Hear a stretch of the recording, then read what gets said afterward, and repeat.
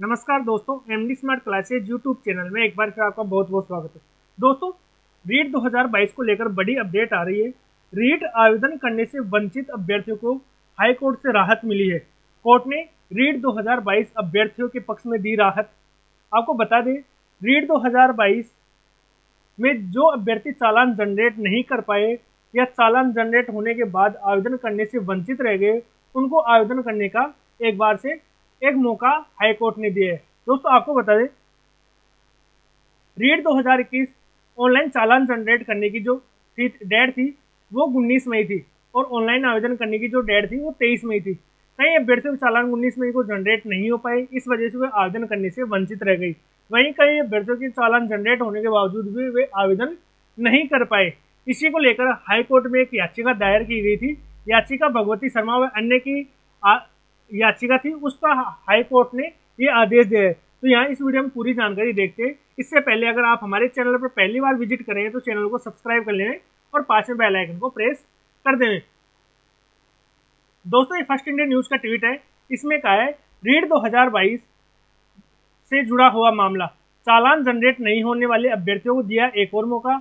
Offline या online form भर सकेंगे अभ्यर्थी। याचिकाकर्ताओं को हाईकोर्ट ने फॉर्म भरने की दी अनुमति। जस्टिस इंद्रजीत सिंह की अदालत ने दिया आदेश।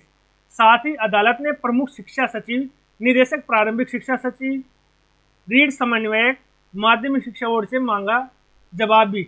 भगवती शर्मा व अन्य की याचिका पर दिया आदेश। याचिकाकर्ता की ओर से अधिवक्ता राम प्रताप सैनी ने की पैरवी। हमने इसको हाईकोर्ट की जो ऑफिशियल वेबसाइट है, उस पर हमने सर्च किया। तो यहाँ पर हमें हाईकोर्ट के जयपुर बेंच में केस मिला है। यहाँ पर केस का फिलिंग नंबर ये रहा है और केस का रजिस्ट्रेशन नंबर ये है। फिलिंग डेट चौबीस मई को ये केस फिलिंग हुआ था रजिस्ट्रेशन भी चौबीस मई को हुआ था।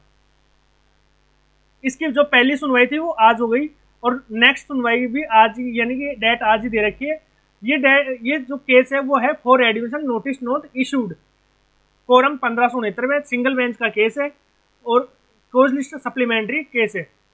इसके जो पिटिशनर एडवोकेट है, पिटिशनर है Bhagwati Sharma doctor of Arjun Lal Sharma advocate है राम प्रताप सैनी। रेस्पोंडेंट और advocate state of Rajasthan director primary education coordinator Rajasthan eligibility examination for teacher REET 2021 और कोऑर्डिनेट रीड 2022 इनको रेस्पोंडेंट बनाया है। वहीं जो केस नंबर यहाँ पे नीचे सब मैटर है, वो दूसरा केस भी ये दे रखा है। इसके बाद यहाँ पर दे रखा है स्टोरी ऑफ़ केस हियरिंग 25 तारीख को सुनवाई हुई for admission fresh with stay अभी तक इसका दोस्तों ऑर्डर नहीं आया ऑर्डर आज रात तक शायद अपलोड हो जाएगा। जजमेंट कि हाई कोर्ट ने क्या आदेश दिया है? ये सारी डिटेल्स आज के इस वीडियो में है। तो रेट अभ्यर्थी जो आवेदन करने से वंचित रह गए, उनको एक और मौका मिलेगा आवेदन करने का। तो जब तक हाई कोर्ट का ऑफिशियल ऑर्डर नहीं आ जाता है तब तक आप वेट कीजिएगा। उसके बाद माध्यमिक शिक्षा बोर्ड और रीट कार्यालय है, उसके लिए अलग से विज्ञप्ति जारी करेगा। तो धन्यवाद दोस्तों।